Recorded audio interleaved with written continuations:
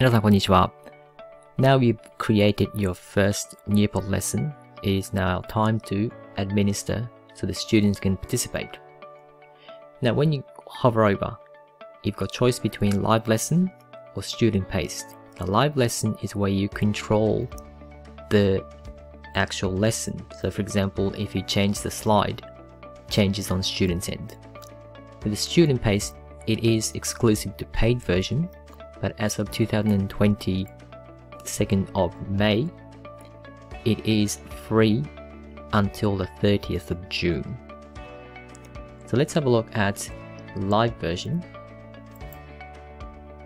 So when you click on live lesson, it gives you an option to either email or share with social media, link, and so on and so forth.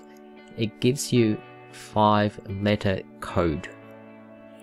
Now, easiest way, if you are doing online teaching, where you can just copy and paste your link in the chat box, is to click link and that will generate a link where students can just click and then just join. So here's what the Nearpod student link looks like. So I'm just going to type in the name and join session. And it starts off with the first slide that I had before. So I can just go to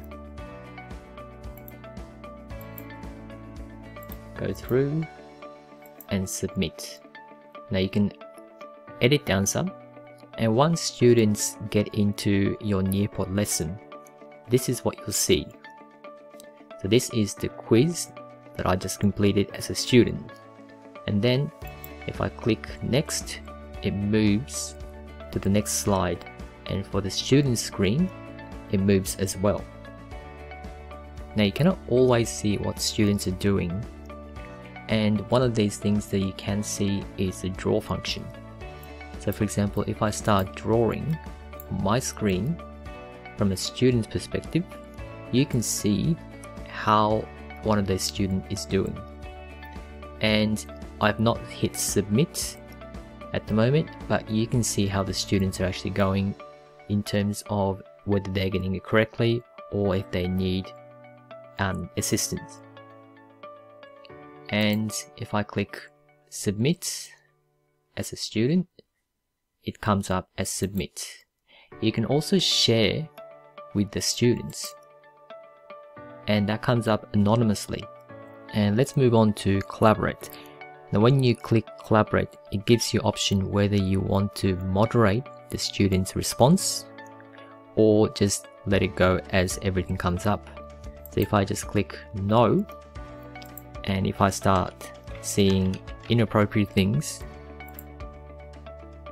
you can just get rid of that particular response. If you choose yes, so for example, if I go back and start again and click yes, let's just say it comes up and says, do you want to approve this? So if you don't want to approve, you can just say no and it disappears from the student's screen. The time to climb is another interactive activity that is similar to Kahoot. So if you click so this is what students will see and it's accompanied by rather chirpy music. You just click and start.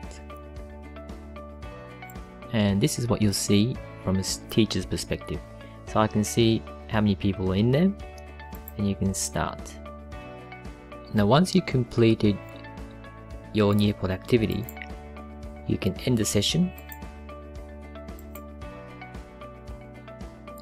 and for you to have a look at the report, what you do is once again hover over the activity you've been working on and click on the three dots. With the three dots you can export reports and it tells you how the students did in each of these activities.